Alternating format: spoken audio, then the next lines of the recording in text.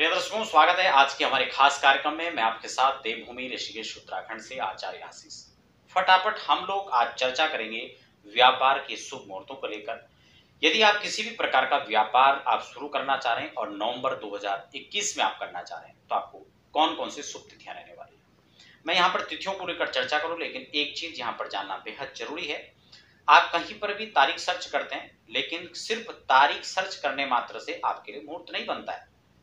आपके लिए मुहूर्त आपकी राशि के अनुसार से उस तारीख पर बन रहा है या नहीं बन रहा है, आप इसको ज़रूर देखें, जिसके लिए मैं स्पेशल वीडियो बना चुका हूँ, आप जानकारी ले सकते हैं।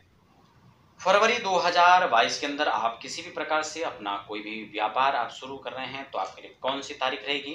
माघ शुक्ल पक्ष प्रतिपदा तिथि बुधवार, यानी दो फरवरी को सबसे पहला मुहूर्त आपके लिए रहेगा 2022 में।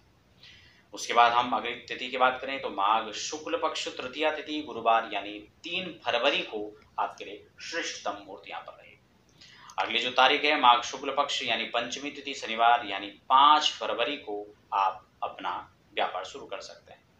अग्रिम जो तिथि है, माघ शुक्ल पक्ष षष्ठी तिथि रविवार का दिन यानी छह फरवरी को भी आप अपना व्यापार शुरू कर सकते हैं।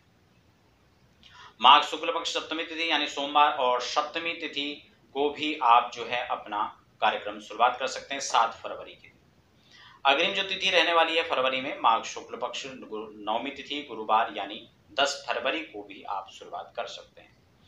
अग्रिम तिथि की बात करें तो माघ शुक्ल पक्ष तेरह यानी त्रयोदशी और सोमवार का दिन यानी चौदह फरवरी पुष्य नक्षत्र के अंदर यहाँ पर आप अपने व्यापार को शुरू कर सकते हैं।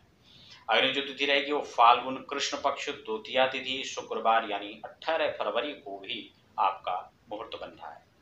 फाल्गुन कृष्ण पक्ष, तृतीय तिथि यानी शनिवार यानी 19 फरवरी के दिन भी आप अपने लिए आपका व्यापार शुरू कर सकते हैं।